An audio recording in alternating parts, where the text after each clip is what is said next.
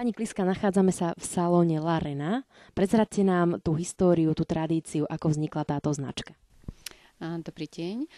Takže pôvodná myšlienka bola spraviť z toho vyslovene kožušnický salón, nakoľko milujem prácu s kožušinami. A postupom času z toho vznikol salón pre tzv. ťažkú konfekciu. To znamená, že sú to veci od jary, jesene, zima, akorát mimo toho leta. Nájdete tu v podstate samozrejme kožuchy, to je základ, top a okrem toho jarníky všetkých typov, kostýmčeky, ale také teplé, zdobené kožušinami alebo aj bez a výrobky z kože, to znamená kožené šaty, kožené nohavice, vesty a všelijaké bundy. To je taký základ, prehľad sortimentu. Prezrate nám, kde čerpáte inšpiráciu a kde hľadáte také námety, všetko na tvorbu vašich modelov. Na to vám neviem odpovedať, ale to je to, čo ma najviac baví na celej tej práci. A to, keď je pokoj, keď si sadnem, tak tvorím. A nikdy vám neviem povedať, že niekedy vytvorím tri modely naraz, niekedy možno ani jeden, ale neviem vám povedať. Raz do roka idem do Milána, priznam sa, je ten taký veľký veľtrh a tam v podstate čerpám inšpiráciu viac menej z tých materiálov, ale ako vzory tie asi vytváram v hlave ale neviem. neviem. Máte tu v salóne krásne modely, prezrate nám, ktorý vám je srdcu blízky, alebo možno ktorý je tu taký výnimočný. No, ďakujem za pochvalu, ale toto je otázka, na ktorú vážne neviem odpovedať, lebo to máte asi tak, že keď sa opýtate maminy, že ktoré dieťa má najradšej, Všetky som vytvorila s láskou a mám ich všetky rovnako rada, čiže neviem vám povedať.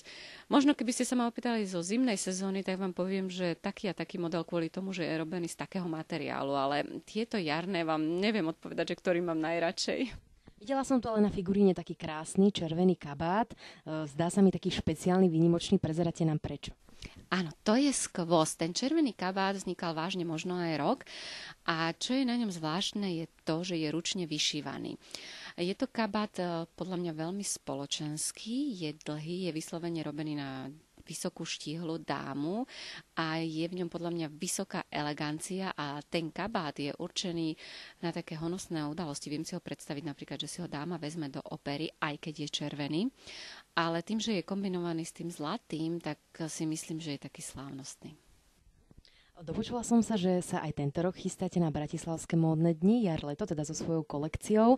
Tak trošku prezerate, navnate naše čitateľky, čo tam budú môcť vidieť, aké, aké vlastne modely na móle. Tak e, opäť som stavila na farebnosť. Tak ako minulý rok, keď sme absolvovali Bratislavské módne dni, tak moja kolekcia bola dosť farebná tak aj tento rok a čo mne osobne teraz akože sa páči je tá oranžová farba, takže išla som do tohto smeru.